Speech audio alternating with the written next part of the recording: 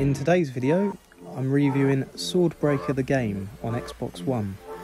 This was published by Sometimes You and developed by Ducats Game Studio. The game releases September the 30th. It will be available on the Xbox One, also Xbox Play Anywhere. It's also Xbox One X enhanced. Swordbreaker is an interactive book type game. You get different options to choose from, and each time you choose one, it will change the outcome of the next screen.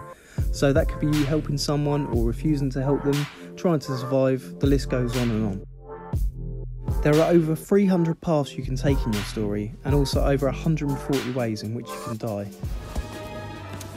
The soundtrack is so well done, it draws you right into the game and changes every time something different is happening on the screen.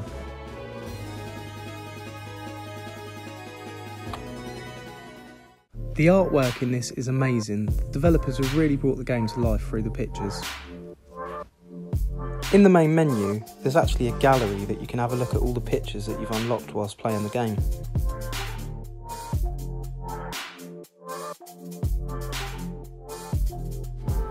Also in the main menu, you can click castle map and you can view all the places that you've already been and you can see other places that you need to unlock.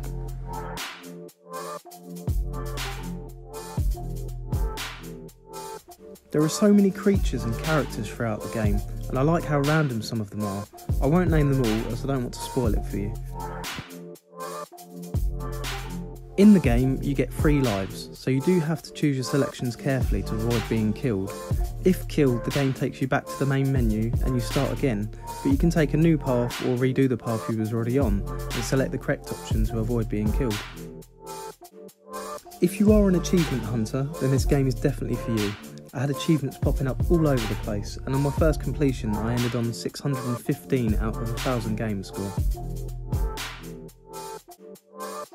I thought I would get annoyed every time I died, but it was completely the opposite. I found myself wanting to keep playing and playing to see if I could get to the end of the game without dying, and once I had done this, I ended up playing again to take a different path.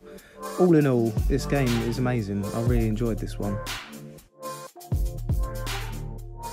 Thanks for watching, don't forget to like and subscribe if you enjoyed this video. I'll see you guys next time.